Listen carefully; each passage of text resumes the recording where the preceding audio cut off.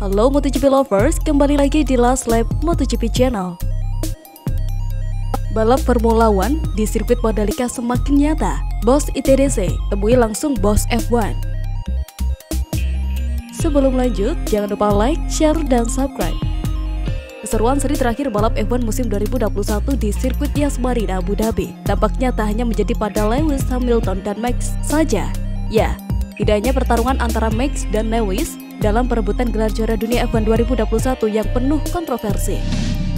Tetapi setidaknya seri F1 Abu Dhabi 2021 juga menjadi momen penting bagi Indonesia, khususnya bagi ITDC selaku pengelola dan pengembang kawasan The Mandalika.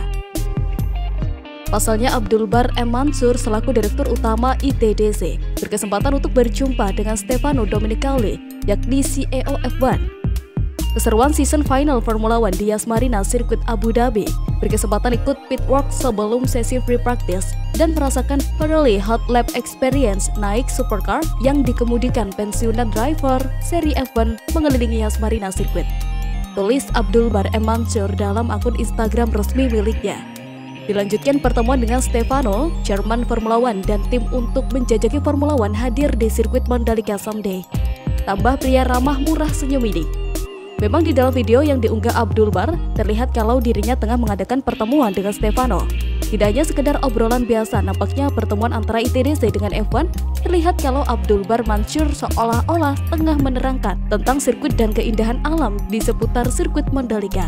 Begitu juga dengan Stefano yang nampak serius memperhatikan tayangan video dari laptop di depannya.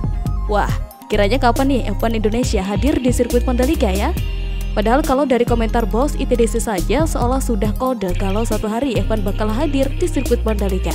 Perbaikan infrastruktur sirkuit Mandalika terus dilakukan. Terbaru, pemerintah Kabupaten Lombok Tengah NTB menargetkan sistem penyediaan air minum Mandalika bisa dioperasikan sebelum pelaksanaan MotoGP di sirkuit Mandalika pada Maret 2022. SPAM Mandalika saat ini sedang dibangun dan ditargetkan tuntas sebelum ajang MotoGP sirkuit Mandalika Kata Kepala Badan Perencana Pembangunan Daerah Kabupaten Lombok Tengah lalu Wiranata di Peraya Lombok Tengah NTB, Jumat 24 Desember. Air yang dihasilkan itu nantinya bisa langsung diminum, kata Wiranata. Menurut dia, pengelolaan SPAM Mandalika yang sumber airnya berasal dari bendungan Pengga di Kecamatan Praya Barat akan diserahkan ke perusahaan daerah air minum. SPAM Mandalika dibangun untuk memenuhi kebutuhan air minum warga di kawasan ekonomi khusus Mandalika dan sekitarnya.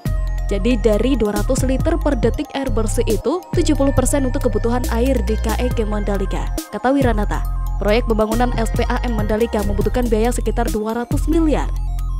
Dana pembangunannya berasal dari Kementerian Pekerjaan Umum dan Perumahan Rakyat. SPAM Mandalika mulai dibangun pada awal 2021.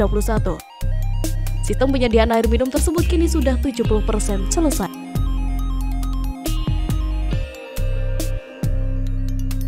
Itu tadi informasi spesial dari Last Lab Channel. Tetap terus dukung kami. Terima kasih, sampai jumpa lagi.